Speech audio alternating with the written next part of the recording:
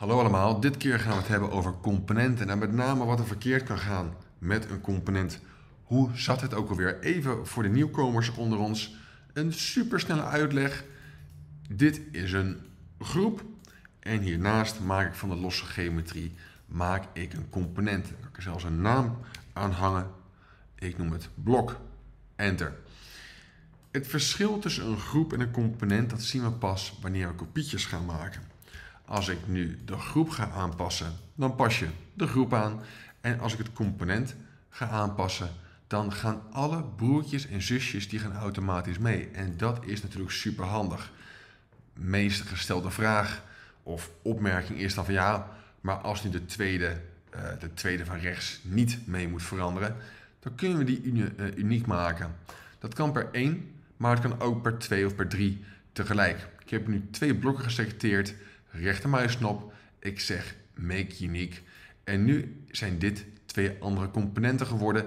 Dat zie je ook in je handige entity info. Zie je dat gebeuren.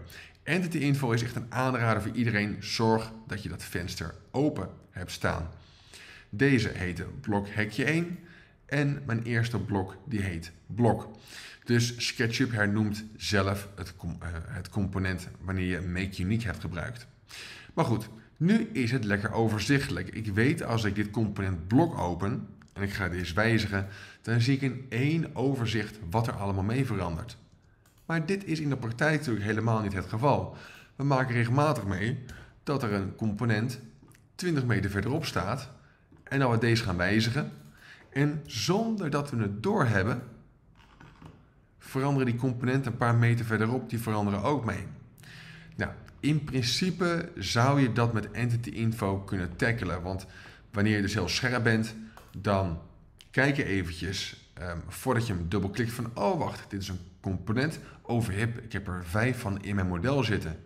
Maar in de praktijk staat Entity Info niet altijd aan of is niet altijd zichtbaar. En wanneer je begint met werken met componenten en je bent überhaupt op blij dat je eraan denkt om ergens een groep en of een component van te maken, ja, dan, dan, ga, dan ga je hier wel eens de mist mee in. Nu is er een handige uh, extensie. Hij is er al een tijdje, maar ik moet zeggen, door een, um, door een, nieuw, door een nieuwsbrief van Sketchucation kwam ik hem weer tegen. Uh, de extensie Edit Flag. Dat is echt wel een grappige extensie om te installeren. En zeker wanneer je nieuw bent met het gebruik van componenten. Nadeeltje is, je kunt die extensie niet downloaden vanuit de extension warehouse van SketchUp zelf. Je moet naar sketchucation.com. Dan kun je een gratis accountje kun je daar aanmaken en dan heb je vervolgens toegang tot de plugin store. En in die plugin store ga ik op zoek naar edit flag of ik tik gewoon flag in, want zoveel extensies met het woord vlag zijn er nu ook weer niet. En daar is die, edit flag. Je drukt op knop download, hij komt in je mapje downloads terecht en vervolgens kunnen we hem in SketchUp kunnen hem gaan installeren door rechts onderaan naar de Extension Manager te gaan en op die blauwe knop te drukken.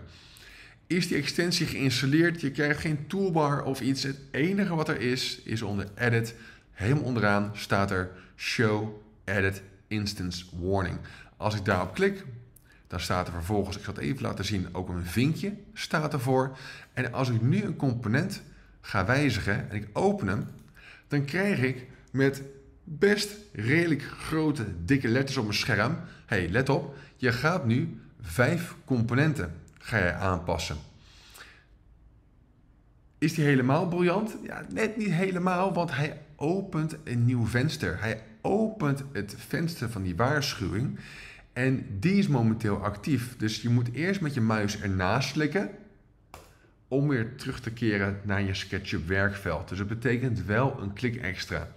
Maar aan de andere kant, um, misschien is die ene klik extra wel niet zo'n probleem wanneer je regelmatig een half uur bezig bent om je tekenwerk weer te herstellen, omdat je per ongeluk weer een component aan het wijzigen bent geweest die je beter niet had kunnen wijzigen of eigenlijk eerder uniek had moeten maken. Nou goed, doe er je voordeel mee. Installeer hem. Misschien vind je het niks. Misschien vind je hem super handig. En dat geldt eigenlijk ook voor de rest van ons YouTube-kanaal. Vond je het leuk? Vergeet je niet te abonneren. En kijk ook gerust eens rond bij alle andere video's die hier te vinden zijn. En dan wellicht tot een volgende keer.